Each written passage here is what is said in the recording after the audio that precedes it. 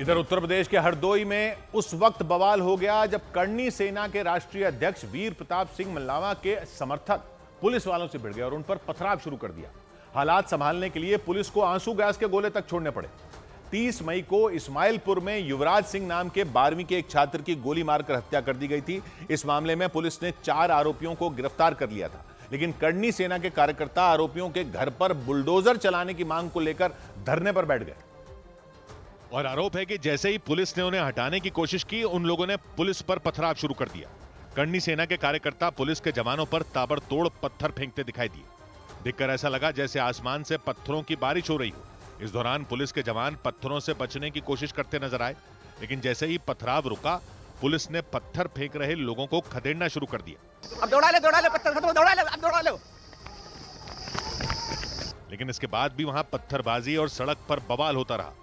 हालात हाथ से निकलते देख पुलिस ने उपद्रवियों को खदेड़ने के लिए उन पर आँसू गैस के गोले दागने शुरू कर दिए।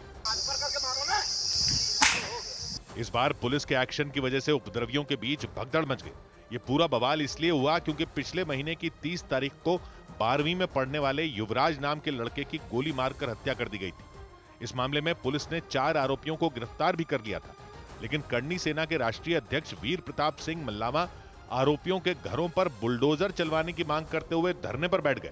लेकिन धरने पर बैठने से पहले उन्होंने युवराज के घर वालों से मुलाकात की थी। उस लड़के के घर वालों ने यह आरोप लगाया कि बीजेपी को वोट देने से नाराज़ आरोपियों ने उसकी हत्या कर दी।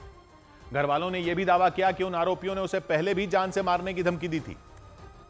लेकिन किसी ने यह नहीं सोचा था कि आरोपी उसकी गोली मारकर हत्या कर देंगे। युवराज के घर वालों से मुलाकात के बाद करनी सेना के राष्ट्रीय अध्यक्ष वीर प्रताप सिंह अपने कार्यकर्ताओं के साथ आरोपियों के खिलाफ कड़ी कार्रवाई की मांग को लेकर धरने पर बैठ गए।